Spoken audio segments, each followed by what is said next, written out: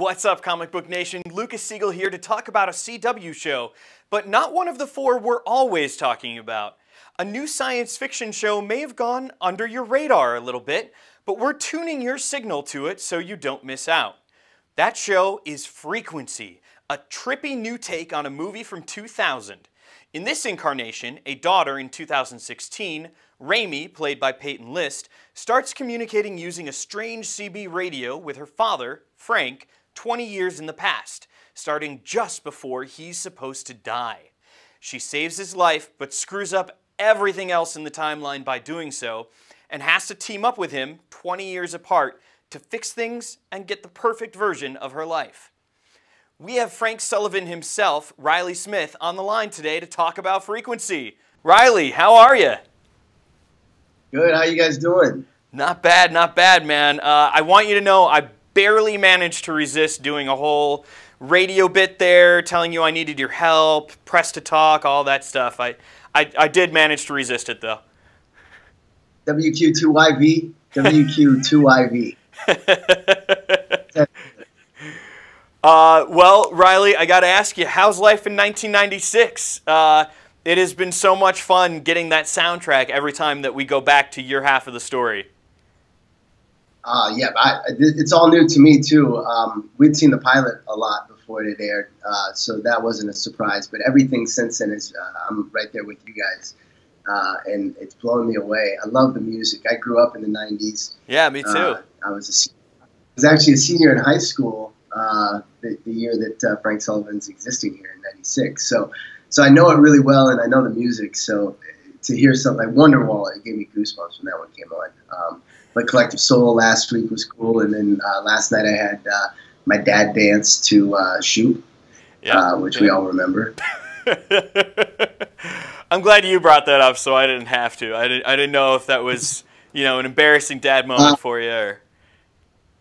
Yeah, well, you know, you see in the script, uh, Frank's dancing with uh, young Raimy, and it's like, well, what are you going to do? I'm not really going to try to dance, but I'm not a good dancer anyway. So, uh, so I decided to try to emulate like the '90s dance dad, the guy that we've all seen. I think I, I saw my dad do it a few times, and uh, and it's funny. So I had a blast with it. Actually, there was there was gifts going up, and uh, that made me laugh. I like that.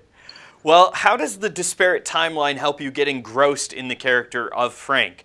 What does uh, being so 90s out uh, help you do to, to get closer to Frank?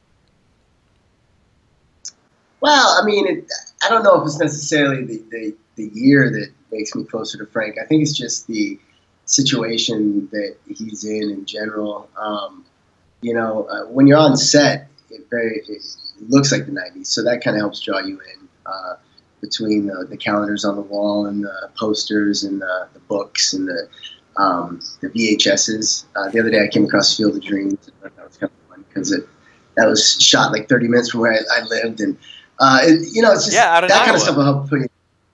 Yeah, yeah. I, I, went to but, University uh, of Iowa too, so I'm familiar with the area. You're a Hawkeye? Yeah, man. Oh man, that's so great! I knew we were going to be friends. um, well, we'll talk more about that later. But yeah, I, sure. I, I love diving into Frank. Frank's great. It, it, he's not a far departure from me. I think there's a lot of different layers to him. Um, I just, uh, you know, he, he, it was the kind of role that was made for me. So I, I don't really have to, uh, I don't really have to, to, to go too far. I just have to dig into all the different the layers that he is. Well, it's interesting. Your closest relationship on the show is with someone you basically never get to spend any screen time with. Um, I know that you and Peyton have about a decade of an acting relationship together, but what are the challenges of building your on show relationship when you have to do it sitting alone with a radio? Well, uh, you know, as you said, Peyton and I have. Uh, 20, not, not 20, 15, 12 years of experience together. We've been reading together forever. And so we know each other so well. Yeah. And uh, so whether we had each other in the room or not, I, I could hear her take on her side of the lines. Um, but it's nice we made a deal with each other that we, we would be there for each other for uh, every off-camera uh, radio scene. So basically, uh, I'll be sitting in a little corner um, tucked in like with a little pen, uh, a flashlight pen, just reading the lines, and, and, vice versa for her. She always knits when she's sitting off camera. Uh, so I don't know who she's for. I asked her she's going to make me a blanket with all this off camera time, but she's over there knitting, and I'm usually on my phone tweeting you guys or something, uh, surfing the web. So that's kind of what we do. It's just a whole day of sitting in a corner, a dark corner. That's wacky. I can't. I can't quite wrap my head around it. it I, I guess it would be like uh, my producer sitting here on his phone right now, and then deciding to uh, suddenly chat with me. That's uh, that's pretty cool though. That, I like that you guys have that extra connection. Uh, so time travel, huge right now. Um, I, there's at least six different shows on TV currently dealing with it. Uh, three just on the CW. Um, why do you yeah. think that this idea of manipulating time is so intriguing that it's being explored so many different ways on TV right now? You know, it's crazy because uh, when I got the script, I, I didn't really, it was one of the first ones I read and immediately was like, this is the one I want to do. And I didn't really get a grasp for what else was out there. So I didn't know that uh, the time thing was such a popular thing. That was just a random stroke of luck of me choosing this script early. Um, and then luckily it, became not only popular with the pilot scripts, but it became popular uh, to pick them up. Um, so it is funny to me that we keep getting compared to other ones. Like uh, I know Timeless is one that people compare us to a lot. Um, and I, I, think that we're all so different, especially ours. It's so much more rooted in reality, and it's so much more rooted in uh, the family connection, the um, I guess the drama. Um, the time element is more of something that's a payoff immediately. Mm. Uh, so I think it, that makes it more exciting too. But you know, I think that what I read and what we're trying to really portray is the, the heart of the matter, which is the, the dynamic between Frank Raimy and, and Julie Sullivan. Well, I mean, you might as well be uh, reading my questions here because I, I was going to tell you, you know, I really do feel like the character focus and the relationship focus is what is primary and what's strongest on the show. But then the science fiction elements let you tap into that. What is it about science fiction in general uh, that that you see as being such a bonus into tapping into those relationships? Well, I mean, the sci-fi element I think draws in a really smart fan base uh, that we want watching the show. I, I, think that we pride ourselves on being very uh, a smart show. Jeremy Carver is a genius in his writing. Is um, every day it just like the stuff we get. I'm, I'm, i look at some of the castmates and I'm like, not only are we on a TV show, and we get paid to do this, but look at the material we get. And so we, you know, we've been very fortunate to get, I think, some of the best material for the sci-fi uh, time travel genres that we're up against. But um, I think that not only will it bring in that fan base that wants a, a smart show that's going to make them think and keep them on the edge of their seat, but like I said before, it also gives us this instant uh, uh, connection with uh, this thriller aspect almost to it, where we're, you know, in our show, one thing changes everything. It's a, it's just a domino effect, and so we're really getting to see that episode by episode, scene by scene, almost, and and that that kind of is driving us through all this this heart and heavy stuff with the family, and so uh, there's a little bit of everything for uh, for the audience, which and it moves so fast that I don't think you ever really get tired of it. It's like it bounces around, and I mean, like I said before, this is all new for me too. I mean, it's one thing to read it and shoot it, and to see it. Yeah. So I'm kind of like that, right where you guys are. Where I'm just watching it, going, "Dang, like, this is this is exciting."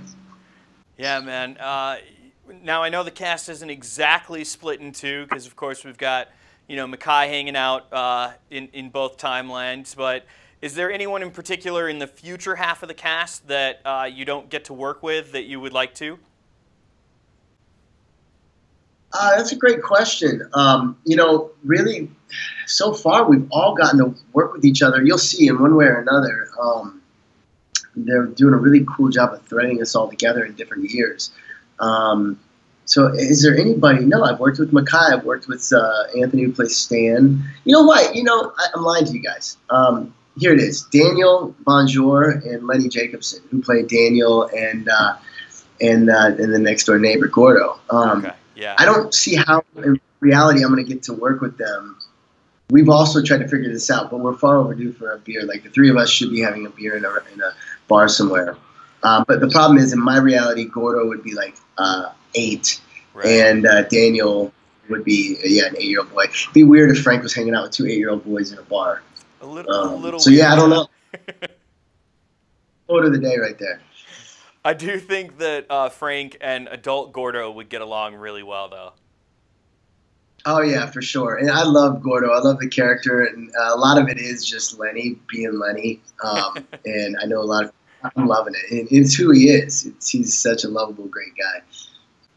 Well, we have to take our own look into the future a bit. So, what can you tease about what's coming up for Frank? Uh, you're you're still obviously trying to keep your estranged wife safe right now, and uh, she's not quite buying it at the moment. Uh, so, what's what's coming up? Um, God, I, I hate this because I want to say so much and I don't know what I can say, but there's a lot uh, like to the point where uh, we just got a new episode today, uh, number 10, and I can't wait. I'm reading it as soon as we're done with this uh, because I, I flip through it like an audience is watching the show, uh, and I'm like, no, no, oh my God, oh my God, I can't. so uh, lots going to happen. There's going to be a lot of twists and turns, um, like some, some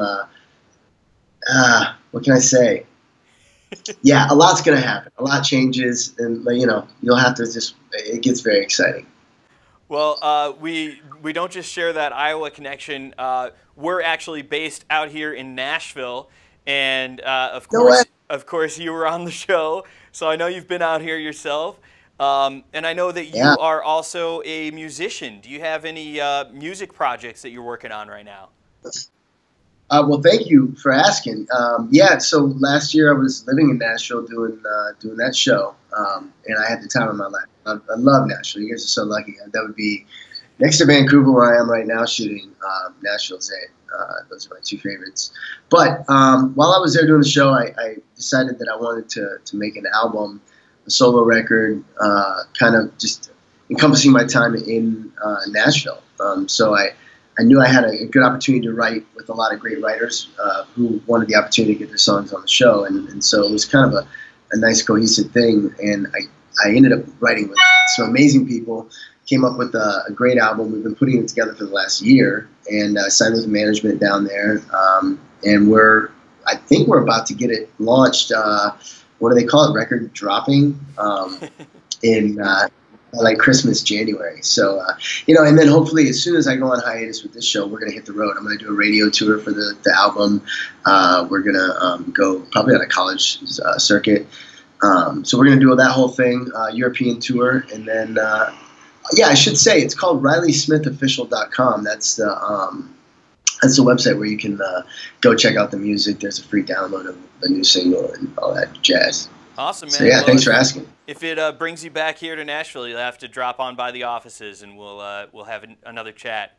Uh, thank you, thank you so much for chatting with us, Riley. Before I let you go, we are comicbook.com, and you are on the CW, practically the superhero network. So I got to ask you if there's any superhero out there that you would like to play. Who would you choose? Oh man, I think uh, I would probably I would probably go with Superman. I mean, he's just the iconic one I grew up with. Yeah. Close second would be Batman. Um, I, I, I, never really saw myself as a superhero actor, um, but it would be a blast. All right, man. Well, thank you so much. And thank you, comic book fans, for watching. Make sure you're tuning into Frequency Wednesday nights at 9 p.m. 8 Central on the CW. And check out RileySmithOfficial.com for the latest on Riley's music projects. For comicbook.com, I'm Lucas Siegel.